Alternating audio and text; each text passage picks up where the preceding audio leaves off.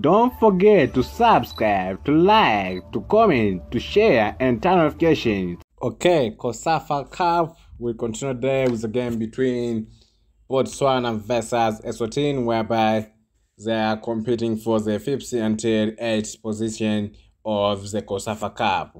This game will take place at the Sugar Ray Xulu Stadium in Durban. Okay, according to pre-match odds, it seems like Botswana has a great chance to win on this game. So let's wait for the end of the game to know what will happen.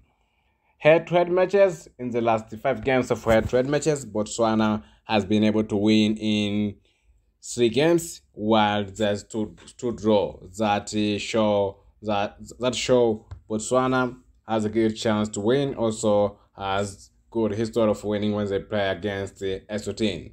Last matches for Botswana in the last uh, five games, things are good for them, whereby in the last five games, Botswana has been able to win in six games. There's one draw and one loss. Good performance. Last matches for Eswatini in the last five games, Eswatini has been able to win in two games.